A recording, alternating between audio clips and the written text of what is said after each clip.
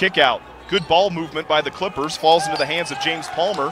Now out to Larrier. And Terry Larrier, the 6'7 forward out of UConn, nails it and gives the Clippers their first points of the game. You see how quick he gets up. He's dribbling to his right.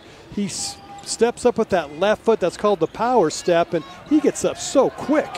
Nice looking fadeaway there by Terry Larrier. Early foul trouble to Tariq Owens and Jalen Lecque. So one of the only remaining big men that's active for tonight's game in Owens is in some early foul trouble. Right out of the timeout, Terry Larrier using the running right hand to get the bucket. Tipped up in the air.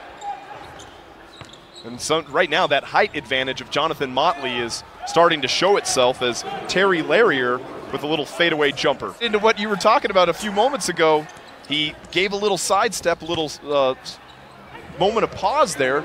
Maybe took him a little bit out of his rhythm as the Clippers answer right back.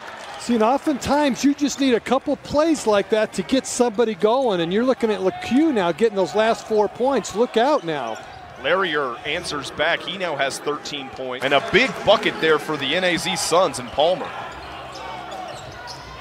Walton into the corner for an open three. Nails it. Terry Larrier, he is starting to heat up now. Motley, who's been a little quiet here in the second half. Good ball movement. Larrier with the three-pointer answers back.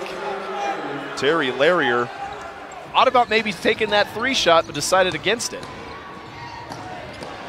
Larrier, he gets the three-point shot. Motley will inbound for Agua Caliente. Trying to get Larrier open up for the three, oh. and they do. Walton Jr. in the corner, three-pointer, nails it.